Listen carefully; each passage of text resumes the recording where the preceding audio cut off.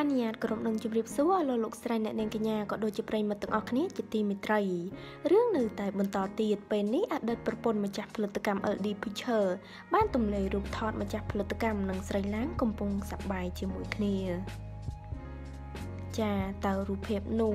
មានអ្វីខ្លះយើងតាមដានព័ត៌មានលម្អិតទាំងអស់គ្នា ក្រោយពីមានការទម្លាយរឿងរបស់តារាសម្ដែងសាឡាត់ស្រីឡាង ជាមួយលោក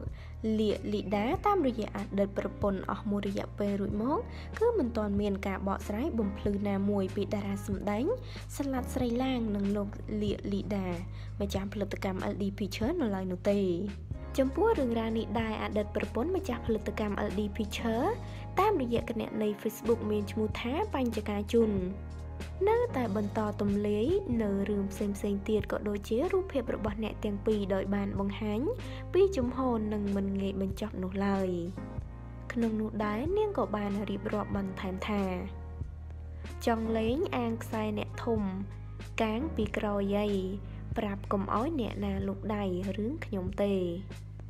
ដំបងគិតថាបន្ធូរហើយតា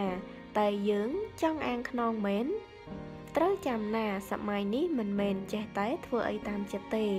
មើលប៉ុននេះក៏គួរយល់ហើយថាម៉េចធម្មតាបើអ្នកអង្គុយញ៉ាំអីបើអ្នកមានសង្សារឬប្តីអីអ្នកអង្គុយចិត្តពួកម៉ាក់ឬសង្សារអ្នកឆ្លើយភ្លាម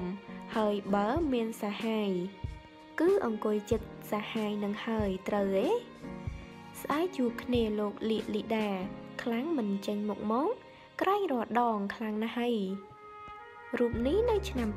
2016អូនសងបងបន្តិចម្ដងបន្តិចម្ដង ដោយបងធ្វើឲ្យអូនឈឺចាប់បន្តិចម្ដងបន្តិចម្ដង ដោយលើកមុនចឹងណាអើយកាដូហែងរាល់ថ្ងៃអាឡាងចារឿងនេះគឺកំពុងតែកក្រើខ្លាំងមិនទាន់មានភាគីខាងណាចេញមុខដោះស្រាយឬក៏មានការបកស្រាយអំពីសាឡាស្រីឡាងក៏ដូចជាលោកលីលីដាឡើយ យ៉ាងណាមិញ កាលពីថ្មីថ្មីនេះទៀតភរិយារបស់លោកលីលីដាក៏បានបង្ហោះសារក៏ដូចជារូបភាពកាលពីឆ្នាំ2016ដែលលោកកំពុងតែអង្គុយញ៉ាំអីជុំគ្នាជាមួយមនុស្សម្នាជាច្រើនក៏ដូចជាអង្គុយគៀកជាមួយនឹងកញ្ញាសាឡាស្រីឡាងផងដែរ តាមរយៈរូបភាពនេះភរិយារបស់លោកលៀកលីដាចង់បង្ហាញថាទំនាក់ទំនងរបស់ពួកគេគឺមានរយៈពេលមិនតិចឆ្នាំនោះទេ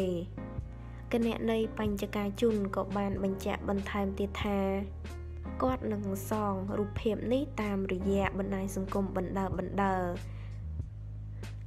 ដោយដែលគាត់បានធ្វើឲ្យគាត់ឈឺចាប់ផងដែរ